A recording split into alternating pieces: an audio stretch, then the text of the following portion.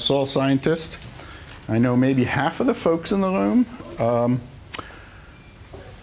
why don't you raise your hand if you are an organic farmer? Uh, and, okay, one, two, good, great. And if you are an organic farmer that, keep your hand up if you're an organic farmer, if you don't mind. Yep, okay, good. Keep it up, keep it up. How many of you, put, put your hand down if you do not grow grains? Just to give me an idea. Okay, grains, yeah. Okay, good, great. Excellent. That's the type of audience I wanted because what I'm going to do today is I'm going to talk to you about our long-term organic research that we do at Beltsville, and I'm going to ask for your feedback. So I'm going to show you a little bit of our results, but I'm also, a big chunk of the talk is going to be you guys talking, I hope, and you're giving me feedback on the management that we do. So with that, uh, let me step back a little bit. We're, we're doing organic farming research for in the long term. So we're doing our 21st year of doing the same thing. So why would you do the same thing for 20 years or more? Well, there's that, but there's other reasons too. Everybody meet Victoria uh, Ackroyd, our, our new postdoc.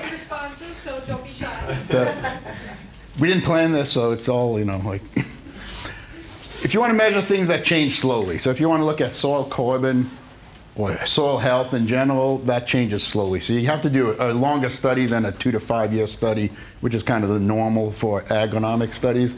If you want to look at how things vary from year to year, you guys know this as, as well as anybody, every year is different. And so getting a sense of how much variability is out there, you can't just do things two years. You might have a good year, a bad year, that gives you a little bit of sense of variability, but you might have two good years, right? So looking at things over the long term is very helpful for a number of reasons. And then the people that develop models need data sets that are long term. So if we want to do some of the nitrogen modeling, was it you, Steve, that commented that you want to look at your nitrogen balances over the long term? Yes, uh, yeah, and release current year from years past. uh, Based on what you did in the past and residual type of Yes, nitrogen? yes, Yeah. residual. So what, what model are you, sorry to put you on the spot, but what model was that? Oh, well, the one I mentioned, I've heard about, it's called ADAPT N. Yeah, Developed by okay. Cornell and a few Yep. other Yeah, yeah. institutions. So, so all those types of models like that, these, these decision tools rely on long-term data sets to really understand how nature that's on our farms works. So that's why we do the same thing every year. Might also be that we're crazy, but there is value to, there is a method to our madness, I guess. So hopefully you can all read that. I don't know how, how well that comes out, but what I spend most of my time doing is managing this project called the Farming Systems Project. It was established in 1996. That's three years before I got here. So I can blame other people if it wasn't set up right. But frankly, it's been my baby for 16, 17 years. We have all rotation entry points present every year. So if we have a corn, soybean, wheat rotation, that means we have corn in one plot, soybeans in another, and wheat in the other. And each of those goes through the rotation. So within a three-year rotation like that, we have corn every year so that you have corn growing in all the weather for every year. Because we're scientists, we have to do everything four times for uh, doing statistical analyses. We use full-size equipment. And we're evaluating five cropping systems. We're we're looking at sustainability. So that means agronomic, economic, environmental. And our systems, we have three organic systems and two conventional systems. And while no-till and organic have both, conventional no-till and organic have both been kind of promoted as more sustainable than conventional till systems, there's really not a lot of data to really show that. There's quite a bit of data comparing conventional no-till and conventional chisel till conventional till, but there's really not that much long-term organic data. And so this is the only site in the country that includes long-term no-till right next to three different organic systems. and hopefully my voice doesn't go away. These are five systems. The two top ones are a conventional system, so a no-till, we call it chisel till because our primary implement is a chisel plow, and then three organic systems. And you can see here, I'm gonna have to walk in front because I don't think I have a pointer. They all have a corn followed by uh, a, a rye cover crop followed by full season soybean. And then if you look at just our two conventional after that, we go then to a winter wheat followed by a double crop soybean.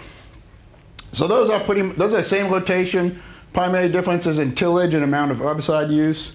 then we have these three organic systems. Our shortest organic is as short as you can be and still be organic. We have four crops in two years. Two of them are cover crops, and we use the famous hairy vetch that people love on this side of the bridge. Uh, so we have corn, soybean, corn, soybean, corn, soybean with, with uh, cover crops in between. Three years, corn, soybean, wheat. And that gives us a window to plant our hairy vetch to grow our nitrogen for our corn. And in our sixth year, we do the same thing, corn, soybean, wheat, but now we're offering, adding alfalfa. So now we're adding a perennial forage into the system. So they're quite different, these three organic systems. Here we, all, here we have only summer annual crops, corn and soybeans. Here we have two summer annuals, one winter annual. Here we have two summer annuals, one winter annual, and one perennial. So those have big implications into, on how well these systems operate. Um, so the goal, what we're trying to do here is we're trying to mimic what farmers do so that what we do then becomes relevant to you in terms of understanding how your systems work and, and how, uh, and to look at ways where maybe you can improve things. So that's part of my goal here today then is to get feedback from you. I'm going to show you some of our data, but I'm also going to ask you, does this make sense? Should we change this? Should we change that? To look at how these systems operate to, to better match what you guys are doing. So what we do to do to, um, to, to try to mimic what's going on across the landscape then, before this project was even started, we had a number of uh, meetings. I know Nick Maravell, I think you were part of that. I don't know if anybody else in this room at the time, this was started in 1993 actually with the planning of it. And uh, it's quite who was who was an organic farmer in 1993? Okay, a couple of you. Who was? Who was? And there was so there are two people. So the majority of you became organic in the interim, which is pretty interesting. Actually, what was really fun today was to see the panel of farmers who were either the sons or the daughters or the son-in-laws of the people that were on the panel 10 years ago, right? That's pretty cool. Um, anyway, so back then, before starting the experiment, we, could, we, we asked people what makes sense to do, both conventional and organic, and then we also try to do that periodically to make sure that we're staying current. That's what I'm wanting to get from you guys today then, is get some feedback from you. Um, if we look at, just to give you an idea on what we do on conventional, this is our typical management practices for the corn, soybean, wheat rotation. So in all cases, we're using either GMOs or treated seed, nothing too special there. Of course, we're using nitrogen fertilizers. We're applying phosphorus, triple superphosphate, and potassium sulfate per soil test. And then we use uh, herbicides as, as needed. Uh, in, in our wheat, we harvest the straw. That's just to give you the conventional in case you have any questions on that. But that's not what we're here for, right? We're here to talk about the organic systems. So again, a reminder of what these systems are, what these systems look like. So then my question is to you, those of you that are organic grain farmers, do these reflect what you're doing? Is anybody that's using kind of a, a short two-year rotation? and and and you you guys do this? How, how's how's your rotation differ from this? If Well, the top one, we, we plant very similar, I mean, we're using the clover, the the crimson clover, crimson clover. and you and you you have some small grains on your farm though too. and So we you, use like the next one to three years sometimes, uh, about hundred and fifty acres of that we do each year, where we, but we plant barley instead of and that was one of my questions that's going to come up here in a second. Just hold that thought for a second. Who else does like a three something akin to a three-year rotation? Where you get yeah, Aaron's got some small grains, and so you got you got a lot of different rotations Yeah, going got on. a lot of, I mean, we almost encompass all those different rotations in some form on a given field, of Yeah, depending on all kinds of factors. all kinds of factors. I mean, a lot of it, a lot of the more two-year rotation is right next to our dairy, um, where we can get lots of nutrients from dairy manure, and so we're doing a lot of essentially corn after corn with a small grain winter annual in between that we're, we're harvesting that for forage. Um, and then it's a little bit longer, we'll usually include alfalfa in there somewhere. Yeah, so you- Um, yeah. But it's a little stretched out, and we'll usually follow that alfalfa for two straight years of corn before we go back to beans.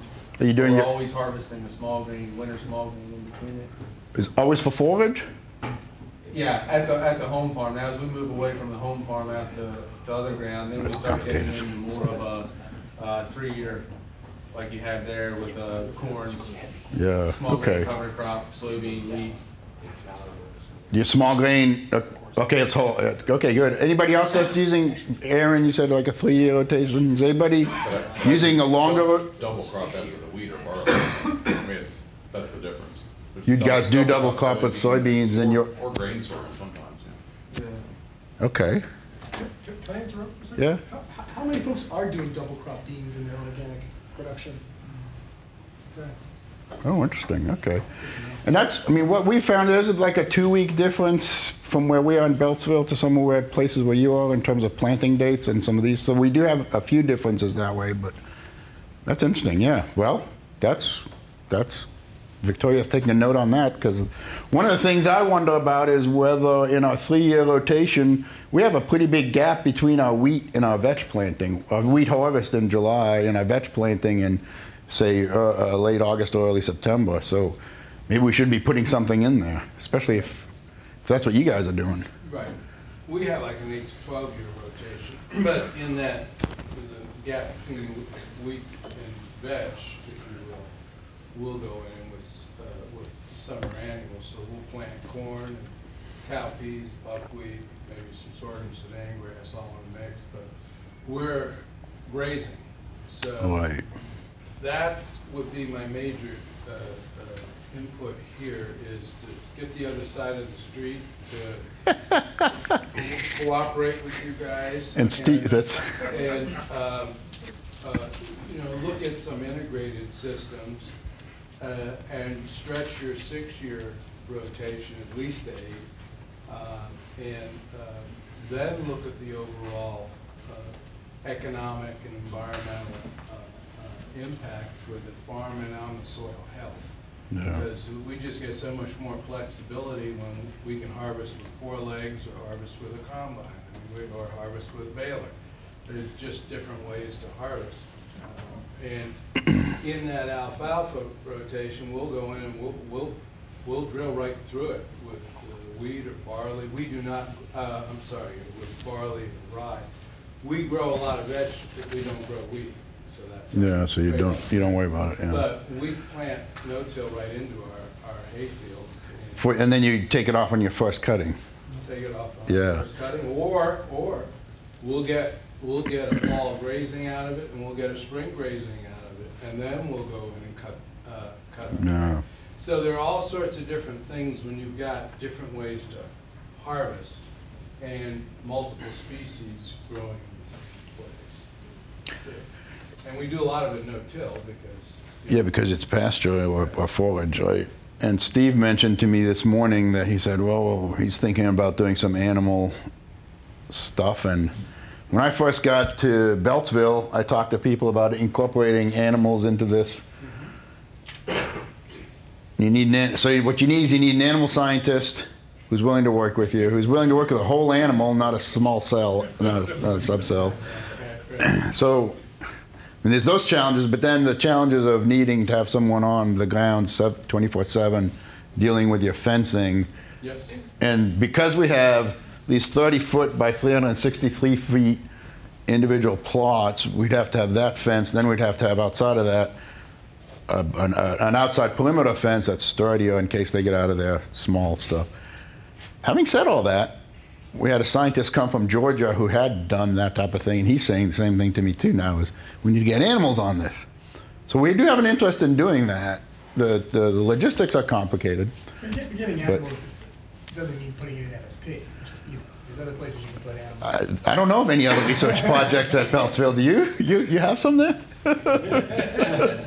Well, I'm saying, that True, it- it true, would yeah, helpful- good point. It would be helpful to those people who are moving towards the grass-based uh, system to let them know how that diversity works in to their overall Yeah. profitability. Yeah, yeah. Yeah, Steve, Steve makes a good point too. Any, Is anybody who is not, what they do doesn't really get covered by this? Or is- are people, like, Evan, what do you, how do you, your stuff fit? Well, you, We really haven't implemented brine vetch into our our rotations too much yet. We, we'd like to, um, we just kind of been doing a little bit of alfalfa sometimes, or just a couple crop in the fall, but this is the type of stuff that I, I'd like to. yeah, you meant, yeah, you mentioned this morning, yeah, you're kind of looking at the cover crop program. Yeah, we, we just At kind of the- been trying to master just, just the corn, soybean right now, and then once we kind of figured it out pretty good, expand upon that with help from others. So, I just have one more question. So is your double crop beans, uh, what, what's your row spacing on your double crop beans? Thirty, We're going thirty. You doing thirty? Okay. just twice, just twice. Yeah. No. Michel, with the hairy vetch, that's such a hard seed, and it's persistent. And a lot of the resistance you get from farmers is, once you got it, it's hard not to guide. And so Yeah, there's probably less of that used for that reason. Yeah, and so that, that's actually a question I don't have explicitly on here, but it is something we've thought about is, um, why not go to something like Crimson Clover? And frankly, be- before I got there, Crimson Clover, they had a Crimson Clover and a mix as well. There were people ahead of me. John Teasdale was way ahead on all this stuff. And he was mixing Crimson Clover, uh, annual rye, uh, cer- cer- cereal rye, and, uh, and peas. Peas one year. And he got away from that because he didn't feel like he was getting enough nitrogen out of the system. But that was all at the beginning. So then our nitrogen situation, which I'll show some data, has changed over the years. So I think we actually have plenty of nitrogen in the system because we have similar soils as I know where you guys have some of the Matapeake or Mattapex. I can't remember one of those. And that's a much tighter soil than some of what Bill has, more sandy soil. So we're able to build up some soil reserves that we can really take advantage of and factor in to our nitrogen release. And so the, so what you do in your early years, I think, is different than what we do after 20 years. We've built these things up, these systems up that might be time to start thinking differently. So the reason we did vetch though was because we do get more nitrogen out of vetch than we do out of crimson clover. But if we have plenty of nitrogen, maybe we can go back to something like crimson clover and or mix in with the vetch, we can mix in some annual rye. I don't know how many of you were in Stevens talk just now, but he showed some good data showing that you get some good nitrogen release with a, even just a little bit of rye, and you get better weed control and other issues, uh, other things. So, so we're thinking about all those things. So, if you have a, if you say, if you tell me that vetch sucks, maybe we need to listen to you because you've been telling me for years. I've grown vetch uh, uh, for over 35 years as in my systems, and I even was, at one point, I was a- a vetch seed producer. Uh, You know, I would produce vetch seed and sell it to other farmers. But if you don't grow wheat, I don't see the downside. If you're growing wheat, now, we also have Yeah. equipment to separate, but you'll never, unless you really want to do a lot of detail. You'll never separate a hundred percent. You can get ninety-nine percent of your vetch out of, uh, out of something. You'll never get a hundred percent out unless you want. And, and we don't have that problem where we are, and, and we have vetch growing in ditches and stuff in our area, but we don't have it in these fields. We don't get, It, it doesn't, it doesn't come back in your wheat. nope. Maybe one plant in a whole field, but that's, in- In our system, because we follow it with five years of, of alfalfa and grazing for several years after that, uh, you know, when you go back into your, when you go, Well, by the time you go back into your row crop and your small grain, unless you're putting vetch in your, uh, uh, winter cover crop, uh, you, you know, there's, there's no vetch left. You could, you could harvest wheat or barley with no vetch, but you, it's a long rotation. yeah, well, even in our shorter rotations, I mean, this is the shortest with vetch and with wheat, and we do enough tillage in between there that any vetch that's germinating, I'm pretty sure is getting killed. I don't know if Stephen, you had some thoughts on that. Well, Yeah, I mean, this has always been one of those. uh, It's interesting, This yeah. has always been one of those fly in the ointment. You know, FSP doesn't have hairy vetch issues in the wheat. It, it doesn't at all in the three-year rotation. And, uh, you know, why do I think that we've been doing a bunch of population ecology, looking at the seed bank and its persistence and whatnot, but generally what I think is going on is that the hairy vetch is, is more plowed in, right? And, and so any seed that, so vetch tends to have five percent, so you have about five to eight percent of the seed is hard seed that will persist into the following year and could be a problem. So after one year, you get about five to eight percent of what you seeded out in the field that will stick around.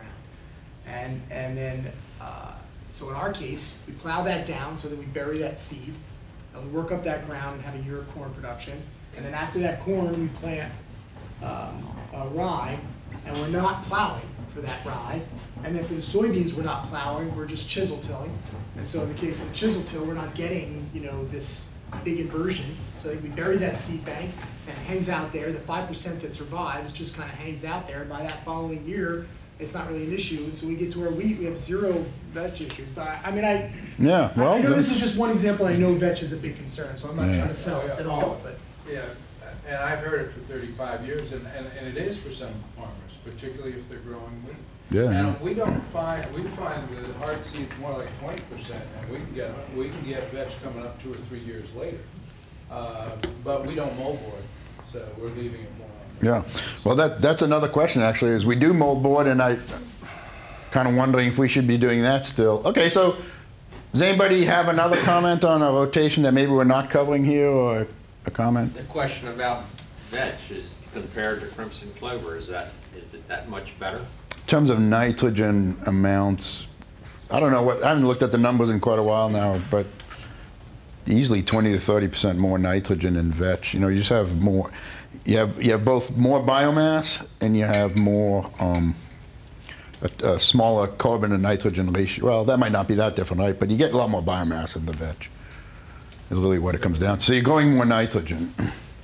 But it breaks down quicker than. But it goes, that's, yeah, well, right, so there you go. So that, and, and I think that's maybe a good reason to get away from vetch. The data that Steven showed, you know, where you lose it all in a month.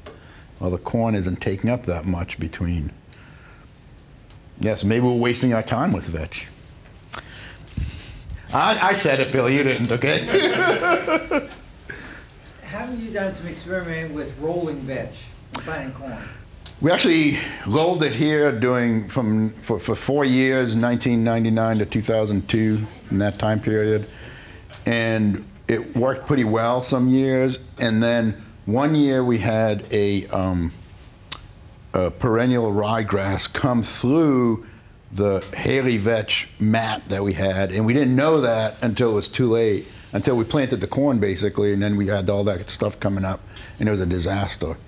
And that, that's when John Teasdale was more in charge of this, and he said, ah, we're not doing this, it's too experimental. But since then, Stephen has done a lot more work on those types of systems. And I won't get into that now because I do want to keep going on this. And he did give a talk. Did you, by any chance, get a chance to see his talk? Just in the last session? Yeah. Yeah, so I'd, I'd suggest you talk to him more on that no-till stuff. That is a thought, you know, we could go that way. Uh, for the corn systems, generally, Stevens told me, it, this, it, it's, it's really not ready for prime time. The soybeans, the rye before the soybeans is more effective at this point. So there's, there's things to tweak. And again, we, we're trying to mimic what you guys are doing. So if you guys aren't doing that, we don't want to do that. And I'm assuming nobody's doing no-till organic corn. Is that fair enough? Raise your hand if I'm wrong. Dang. and would you, are you doing it again this year? No, but we're gonna try it again. Yeah, okay. Well, Okay, so it's experimental though still. Yes. Is, okay, and that's basically what I'm looking. Um, okay, next question, wheat versus barley. We're, we harvest wheat second, uh, first week of July where we're at. You guys probably harvest wheat before that and barley even earlier than that, right? So that has a big impact on all this stuff. We're selling, you know, for the economic analysis we do, we sell our wheat grain. So we're not going it for silage or, or any of that. Why do you guys use barley instead? Who, who does wheat? We, we've done some wheat, but I mean, barley's really, it's a risk mitigation. Your opportunity, if you grow wheat, if it gets rejected for vomitoxin, all of a sudden your value plummets. Um, whereas barley, you- you've got just a more stable market. And you're getting it off earlier, you're getting double crop beans in. Um, as we do- And that's all on the organic market, right? Yeah, For the barley, yeah. I mean, but it's just the opportunity to get it rejected. Hmm. For vomiting toxins risk. Yeah, okay. Anybody else? Any other comments on that? Well, I mean, We're, we're growing barley because it comes off earlier, so it allows us to control summer weeds, get a second crop in that we use for grazing or whatever, but also because we're growing vetch. And it's not an issue uh, if you've got, uh, uh, you know, vetch seed in there, barley. We're consuming all of our own grains. so Yeah, that's, Really not yeah. And we're doing, that's a, I mean, we're doing a cash crop operation really here in terms of what we're trying to mimic. And so there's that added piece that does make a an issue, difference. I can tell where your plots were years ago. You had vetch, I know exactly, I have to go around them. The barley's, it's just vetch and barley, it's ruined, yeah. I mean, not, Oh, not, thanks. not anything on you. you're welcome. I mean, you're welcome. just saying, that's- that's- on my sandy soil, I think the vetch gets going early and, and times with the barley. So, you- uh, let's talk more about that after. I'm kind of curious anyway, about that. Yeah. Um, so does, so a couple people do some wheat, but is barley more popular is what I'm kind of getting? Yeah. Is management the same for barley and wheat, pretty much from, Pretty much. yeah, I didn't do cash crop, but I always use barley versus rye with my vetch, because rye can get away from you, depending Yeah, on the weather. that's right, that's right, And I had winter, right. I had rye, I'm six one up to my nose. Yeah. And it was wet. yeah, right. And you, and it's, and it was five-five the day before. Right, right. Yeah, that's, that's a good point on the, we do keep a close eye on our rye cover crops. Uh, we kind of discussed this already, hairy vetch versus other legumes. Is anybody doing a legume, anybody putting some grass, some kind of grass in their legume cover crops? Oh, yeah, all the time. All the time. crop program, you mix a little barley with the. Oh, that's right. Yeah, yeah. Yeah. That's right, you guys do that, yeah. Others, others do that too? or you Yeah, Both, we- yeah? We, we never plant pure. like- Yeah. No. Just behind the time. I'm behind the time. Well, that's why I'm here. Well, you know, we didn't have a conference last year, so. uh, I guess we kind of discussed that already. Okay, good, great. This is excellent feedback. I appreciate that. Here's our uh, crop plant uh, planting seeding rates. Do these make? Does anybody see something here that doesn't make any sense to them? Well, I mean, we do a little higher on both corn and and beans. We do like thirty-one thousand on the corn and two twenty-five, two fifty on the soybeans, and uh, primarily for weed control. For wheat, con- yeah. All right. But uh, I must say, we're in thirty-six inch. Yeah, we're 30 inch. Yeah. Right. And that allows us also to get cover crop on a little bit easier into the standing. uh, And you can use horses. No, no, no, you need forty inch. Oh, you need 40? Yeah, see, I, you know, you gotta get with the. I'm yeah, yeah, horses. I need to. Uh, anybody, anybody else have any thoughts on this? Is maybe a little low, or is it where you guys are at? We'll run thirty to thirty-two on a lot of it. Uh, soybeans, uh, early se- full season bean, we might be a fresh 100, 180, 190. And then be two hundred to two twenty on short season. On double crop? Yeah, on double crop, trying to get a canopy. How about you guys that do double crop? Do you guys go higher No, we're right around two hundred. also? So it's about. And that's gonna, you know. Okay, so now, what time we got? What time do we go till? Three? Until three, and you have until three fifteen. Three fifteen. Okay.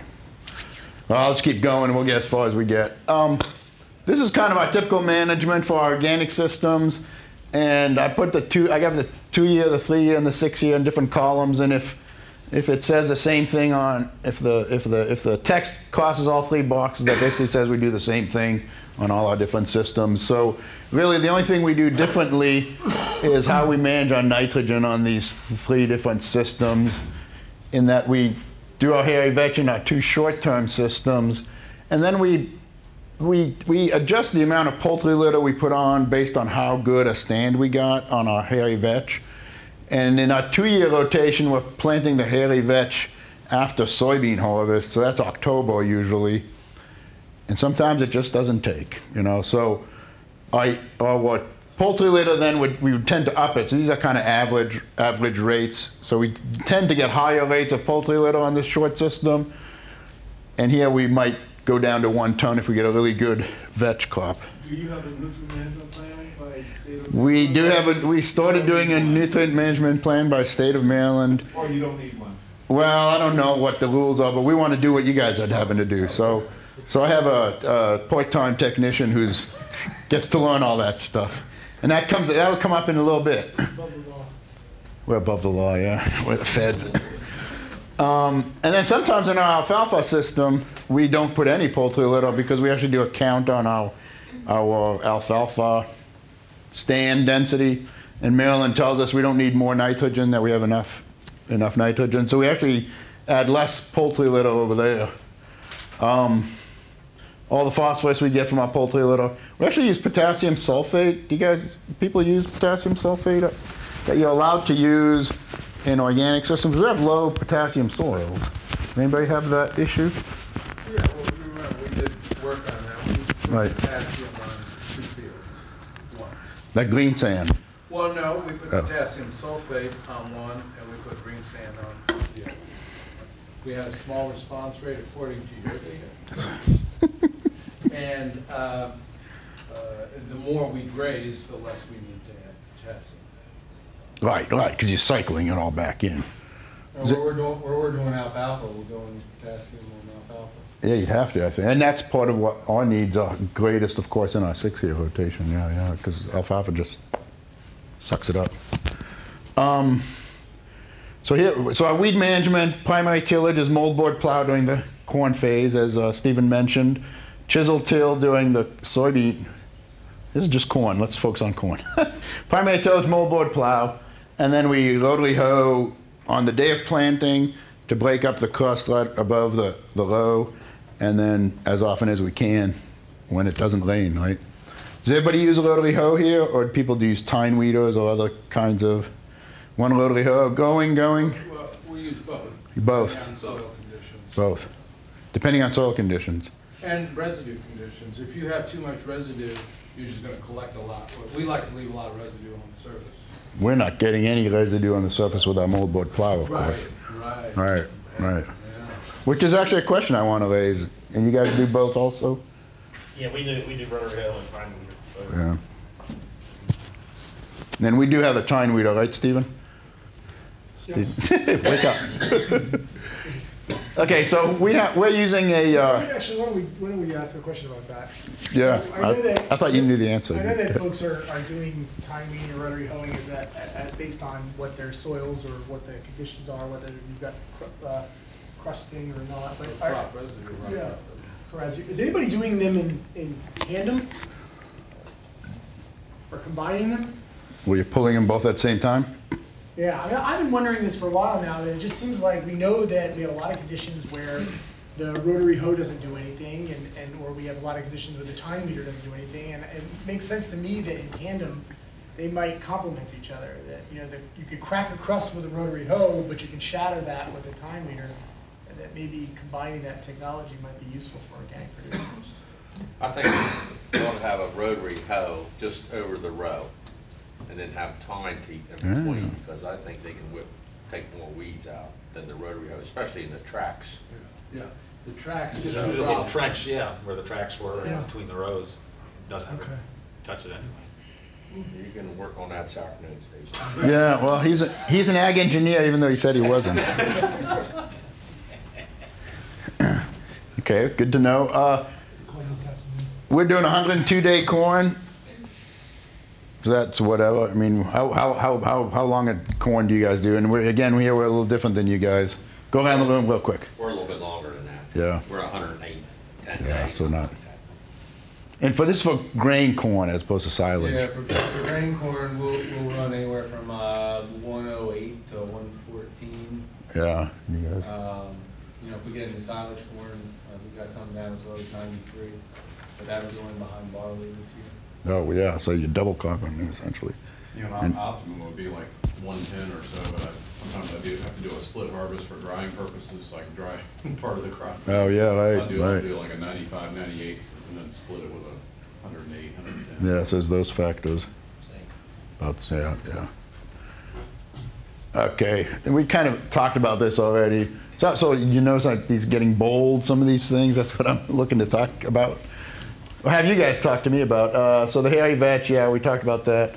Here's uh, a little bit of data to break things up a little bit. Um, some of you know, remember John Spargo, one year he had an experiment out at FSP where he put a microplots out there where he added no nitrogen that year. So in his conventional systems, we added no nitrogen fertilizer. In the organic systems, we had no cover crops and we added no poultry litter. And we just grew the corn and we saw what kind of yield we got. And uh, 10 megagrams per hectare, here is about 160 bushels per acre. So you can basically see that what we've done is we've built up our, our reserves, our soil nitrogen reserves, where we're getting going 150 to 160 bushel corn with no new corn, no new nitrogen, right? So this is without the vetch, without the poultry. And it's like, wow, that soil, this is this organic matter, this organic farming does work. This is what you're trying to do in organic farming, right? You're trying to build up the organic reserves. Of course, we're doing hand weeding in these microplots because we want to see just the effect of nitrogen. And your dad, Matt, would tell me, yeah, but you need a lot more nitrogen to take care because the weeds are going to take up a lot of nitrogen. So there is some value. So that, that, that is an important point. But the point is, we're still getting, with no nitrogen additions, some pretty darn good corn yields, right? No irrigation either. What's your organic? No, that's not true. That year we did do irrigation on that plot. what- What's your organic matter per- percent on that soil? So our organic matter percent is about 3%. Yeah, it's higher than what you would be able to get. That's right, or, or in your sandy soils as well. And so, so that's an important piece of it. And you guys probably have similar, Yeah, we're a little lower than that. yeah. You know, our better than lot is two, one, two, three, two, four. Yeah, we're maybe 2.8, 2.9. I mean, we're at, yeah. But, but Michel, I mean, we're also seeing very similar results on the eastern shore. Uh, And that's where I had the OF. And I, I don't have it in, so thank you. That's perfect. Right. yeah, and I, Yeah, I, yeah. I tried to get to that. Yeah. I ran out of time because I talked too much, and, and so I, I missed a couple of slides at the end. I'm running out of time because they're talking too much. Well, we have that ev- evidence that, I mean, even on the eastern shore, just the history of manure and cover crops after five or six years, a history of doing that. I mean, incredible yields without any other source of fertility. So you can really build up those base mineralization potential and have good buffer. I, I want to be very clear when I say this though, because there are folks traveling around the country and preaching stop fertilizing, and that you can do it all with cover crops, or, and, and I'm not suggesting that at all. This just means that you've built up that buffer of years of, of, of management, but you can mine that and lose that value if you just start, you know, mining it. So it, it's not, the idea is that we can back off in organic systems on manure quite a bit. Once you get into a more mature organic system, you could be dropping those manure rates considerably. I know when you have a dairy, that's not, that you're not Not looking to reduce it. You gotta put it somewhere, but anyway. Yeah, right, right. And that's and that's what we found on. Um, we did some research on the Mason, the Fry, and the Cooper farms, and basically found that poultry litter applied at a phosphorus replacement rate gave you the same crop yield if you had a legume cover legume cover crop plus phosphorus application of manure gave you the same yield as a legume cover crop plus a nitrogen application of of manure. I didn't quite state that right. Do you guys get what I'm saying? So in other words, you can pull back on your manure and not get a yield. Yeah. If if you you have to factor this in, so then, but that was even on you guys as more sandy soils, you know, and you guys have irrigation where you're really getting some pretty high yields. Yeah, just a counterpoint to what Steve said, on, in our, on our Montgomery uh, County location, we had no livestock. And, uh, we went and, uh, without any fertilization except, uh, phosphate once in lime. Uh, and we grew our corn there, and you guys have seen it, and, we were able to do it in a five-year rotation without adding fertilizer. That was primarily sweet corn, so it's a different, it's a Yeah, different it's a thing, it's a little higher lower, value yeah. crop. So it's a, it's a different dynamic, but I'm just saying, there is something to be said for building up the reserves in the soil. Thirty years, but Yeah, there's right. something It's, to be said. but then you do have to factor that in, right? Because then I don't think the nutrient management plans take this into account completely, but No, you no, do not at all. get a benefit that you need to account for for your own, you know, So benefit. What is the parameter for that? What, what was the parameter you're using, the Oh, to percentage of, To measure that, Yeah. the- these guys are talking about percentage organic matter, you know, when you send in your samples. yeah, yeah. And- That's three percent you're talking,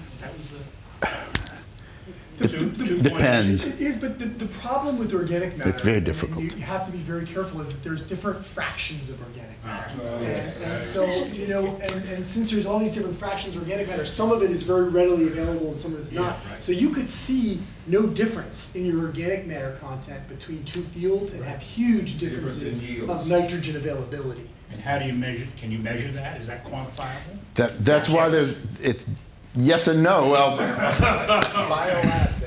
This is why there's no nitrogen, there's really no nitrogen availability. When you send your soil sample to get tested, they don't give you a nitrogen number because it's so dynamic. So that's the no part of the answer. The yes part of the answer is if you go out and take a pre-side dress nitrate test, you know, when the corn is about a foot tall, and you measure nitrate, what is it, in Maryland, is it down to two feet or is it one foot? Does anybody do this? I don't, can't remember. I'm blanking out, Eight, eight inches? Yeah. is it eight inches for the PS, for the PSNT? Yeah, I'm pretty sure it's eight inches. I think Twelve inches. 12 inch, yeah, okay, I was gonna say, for PSNT, 12 inches, That's how we walk a lot. and, and think, this is extension grade or what? So at, at- at 12 inches, and then if you're over a certain amount, the, the recommendation is to not add any more nitrogen. Yeah. And if you're lower, the recommendation is to add some nitrogen, but they don't tell you how much to add. And so this is, this is largely, but this is essentially, We give you a range. and, and the reason that they don't give you that is because there's too much variability. That they've done the research to show, and uh, that was a joint work between University of Maryland folks and Jack Meisinger at ARS. And they did it all over the state, and it's largely useful for soils that have received manure over the years. Yeah. And so it's kind of a threshold approach rather than the more res- uh, And things work even better if you're in, in your, if you're in irrigated systems, right? If you're not in an irrigated system, then, you know, you, you don't know if it's water or nitrogen, so all bets are off. But if- if Which you're in is a good irrigated, segue. You can- you can know that it's not water so that you can plan. Right, thank you.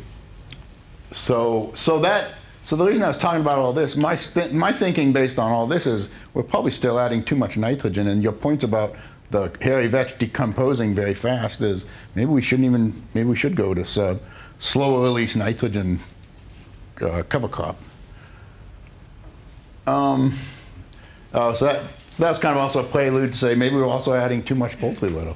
So we're actually doing a study to reduce our poultry litter to see if we can get away with that on this site. Uh, so moldboard plows. Who does not use a moldboard plow? Let's do it that way. Okay, so, okay, good. We use it sometimes, What do you do it based on what? Based on how we feel. We, we try to get away from it the last couple of years. We have a ripper and we've been disking the ground and pulling the ripper through it instead of moldboard. was it a ripper? Is that like the subsoil or is that something Like different? Because yeah, that, I think we yeah. They're just to break compaction. Well, it's for compaction, but we're, we're, we're, we just think that the plow, we, we, the first few years, we were plowing everything every year. And we sort of thought that, you know, through the cover crops, maybe we were building our organic matter up a year, a little bit during the winter, but in the spring, we got the plow out in a disc and we just worked the ground to death. So we, according to my son-in-law here, we should stop plowing so much. So we, we haven't plowed much the last couple of years. We had the chisel plow to rip it. Yeah. I'd say there's a place for it, there's still a place for a plow and even all these other conventional tillage tools, I just think maybe less of it. Um, We'd like to look into some new, new items, some new tools. to Yeah. Try out. Which was one of your main points this morning, right? And I think we probably need it in the alfalfa, or well, you got alfalfa, but you're not using a, a moldboard plow. Well, And, and and you want some feedback here? I mean, I'm looking to save twenty to thirty percent of the alfalfa stand for planting my corn straight into that. Oh, that's right. You told me that once. Right. The, the real issue is because we, we don't grow pure alfalfa, and never would, the, the issue is how to knock back the grass.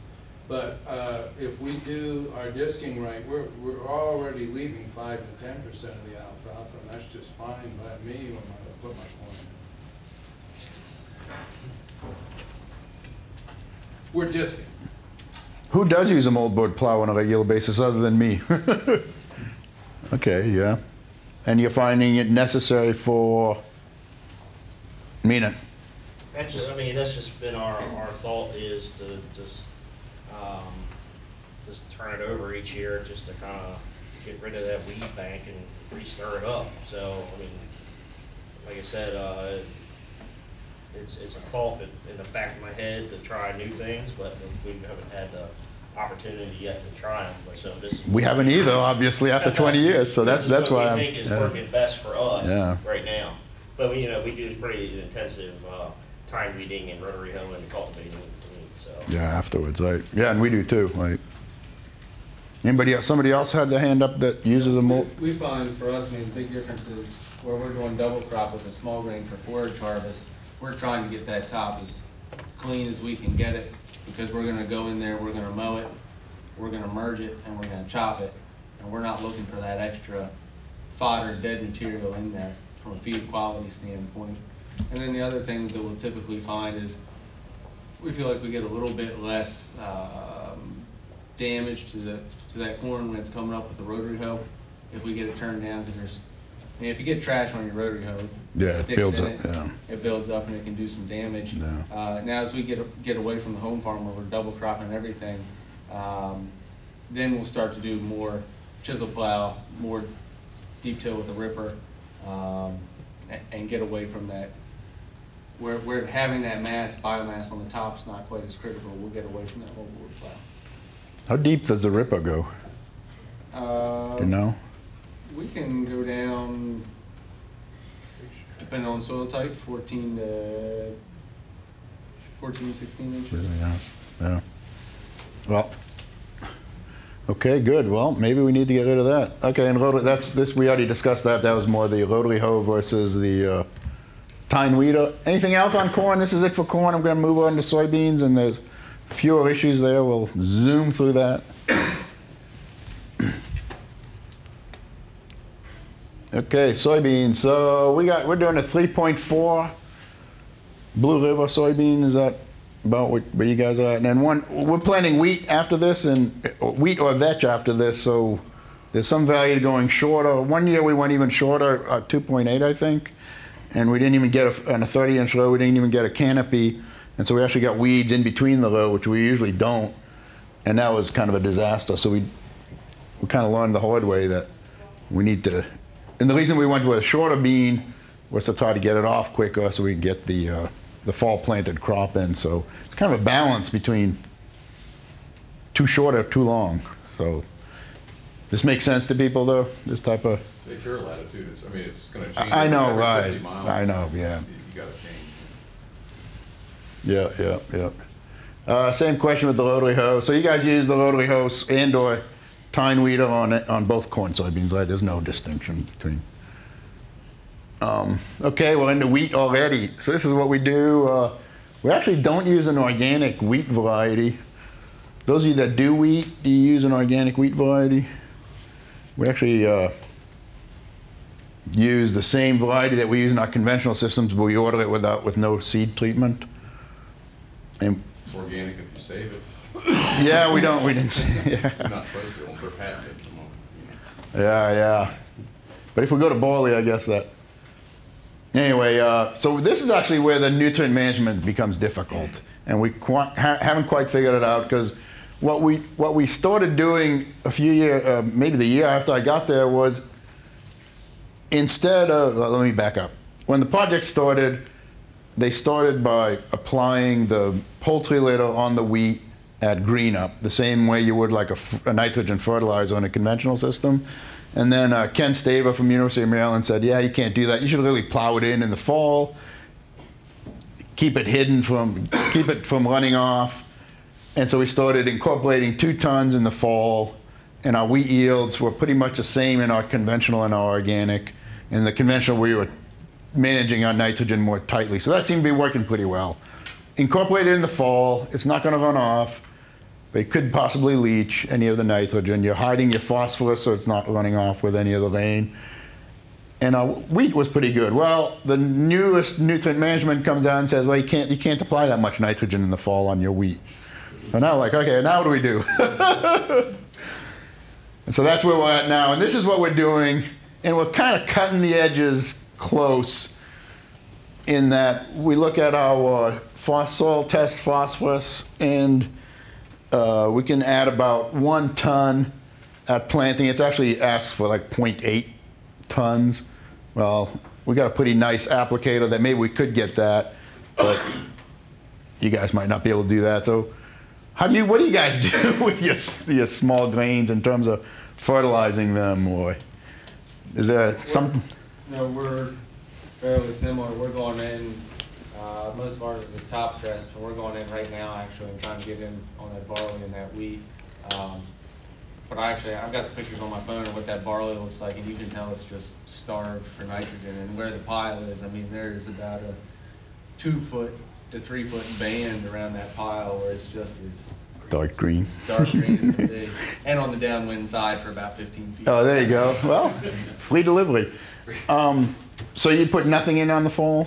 Uh, It really depends, but we'll, we'll try if, if our plan will let us, um, Yeah. back in, but, you know, if we're coming behind corn with it, you know, we're trying to get as much on that corn crop as, as we can. Yeah, so you have some, yeah. Well, we're coming after soybeans and, you know, you're supposed to get some benefit with soybeans, but iffy. We were worried about putting two tons on at Green Up now because of the reasons that you mentioned. One is that you, you're gonna be starving to begin with, and then if you're putting two tons on, it may be putting on too much in terms of the phosphorus potentially moving off. And some some of it depend on, on what your follow crop is, so like where we're going in with beans, it was about a ton and a half is what the plan was calling for. Um, then other places, um, where, I mean, we're really having to skimp it and go with a ton if it's gonna be followed by corn, because it might not be going for grain harvest, but forage harvest. And so you've got to go in and really skimp it on that barley, so you've got enough left over for corn. So, Um, yeah, Now, the- with the dairy manure, you know, we can go in, uh, and top dress it. I'd say probably going around six to seven thousand gallons an acre. Um, Most of that's all triticale, but we can go in at that and then come right back in at corn at another, you know, eight thousand gallons, Yeah, and you guys are dealing with liquid, yeah. yeah.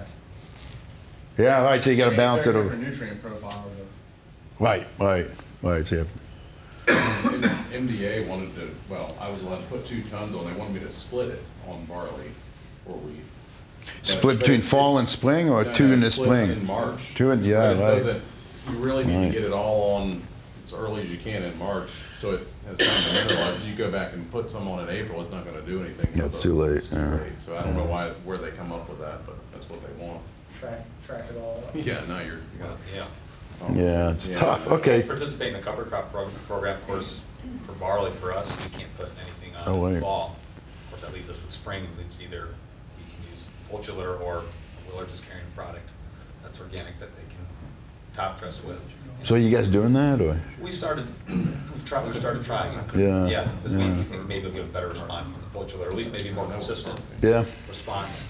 Um, uh, But maybe Ultra might, because uh, it seems like this- the Ultra, a lot of, you know, heat dependent, weather dependent. That's right. And, And If it's just sitting on the surface there, I'm just seeing the volatilization, you know, right, and all, all kinds of, yeah, right. right. Okay, so we're all dealing with the same issue. Okay, that's interesting. I mean, the state, What's that? The state, just, He's slow on that. even the feds have to deal with the state, right? Oh, you're down to about five minutes unless all these folks want to stay. Ah, there you go. Well, let me see if we can, uh, so, okay, that was, that was that issue I wanted to ask you about. Oh, and then, so, this is really actually maybe one of the last questions I want to get at anyway. Interesting that you guys are planting double crop, cash crops that you're selling, right?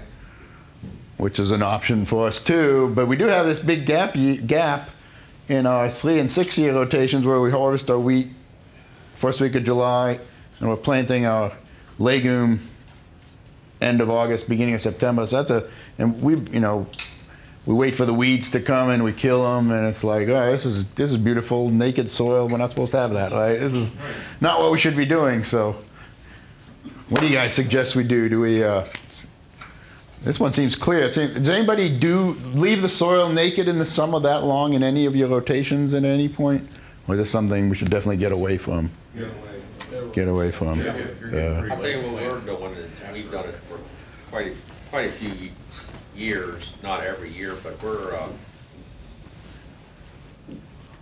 on our barley, and we've done it on rye, we are, uh, putting liquid organic fertilizer on, and we're putting red clover in with that first of March. And then when we take the small grain off, we have clover already established, and we'll let that grow during the summer, then around Labor Day, we'll mow it. And then we, in the spring, we got hundred and fifty acres like that this year, we have a nice clover crop there right now for corn. so you mow it and harvest it off, or mow it and just leave it there? fallow. And That'll let it continue to grow through the fall, establish better, and then the spring comes on strong. and So it gives us a longer cover. Yeah, right. Established and hopefully produce more nitrogen. So that's red clover, That's right? red That's the point. Yeah, yeah. You say you're just putting it on the a high boy? Uh, Willards just put it on. Put right in there, spray. They said they've done it with alfalfa. Yeah. For money, you guys. So what think what's working really well for us is, uh, we just started trying this, I haven't done a comparison with these other approaches, but we've been drilling it in. So we'll come in when there's snow on the ground, or we'll just come in sometime in February, March, and we'll drill that red clover Like a frost Into season. the- into the wheat. Instead of spinning it on and just letting freeze thaw work it in, we'll just drill it to get a really uniform catch, and it's doing really well. It's doing really well. And then we, we. Yeah, say, if your soil conditions are right. Right. Mm-hmm. Yeah. I if the ground's frozen, all you're doing is just cutting, you're just Oh, No, making no, in the top. gas, no, yeah, yeah, but if it's saturated, Yeah, you got to get in before it gets all squishy. I guess. Yeah, so we just go in, that's what I'm saying, the ground is frozen and hard and you're just scratching it in, you know, with Well, that's what's nice about legging, it's a hard seed too, you know, it'll wait until conditions are right, it's not just gonna rot or disappear. And we've even played around more, more, more recently now, coming in and trying to simulate grazing, right? So, because we don't have animals, as Michel mentioned, so, uh, we'll, uh, uh, we- would uh, simulate grazing in the fall, so the red clover takes in the spring, it just hangs out there underneath the wheat, and then in the, in the fall, we'll simulate grazing and then drill cereal rye into that red clover, and then we'll get this beautiful rye, red clover, so we get the grass legume that we're trying to get, but we get the benefit of the red clover being there year round. That's been, I mean, we're only in Yeah. the early stages How of how are you it. simulating your grazing? You're like chopping it off. Chop. Yeah. I'd love to just have a party out there and. Everybody stomping in and. We could have, we could have a field day. Mow it, chop it. and then just remove it. Graduate students. The idea is that you just want to get some of that competition for light gone. So yeah, because so my experience with that type of system, which w- is part of the reason we don't do it here, is was in Michigan, where um, we would only get a good red clover stand if the wheat stand wasn't very good. You know, so if you had a good wheat wheat yield, you pretty much shadowed that stuff out. Get out of here. So, but my primary. Anyway, okay, that's obviously a sign that we need to call this call this the end. This has been very helpful for me, guys. I apologize for it wasn't that helpful for you, but uh, It was your party. there's my party. There you go. And uh, you supplied the food. and you didn't have to and you didn't have to listen to me talk all the time, which is always a pleasure for me actually. So, uh, thanks so much. And uh, I think that's I don't know, Jenny, if that we meet, is that it?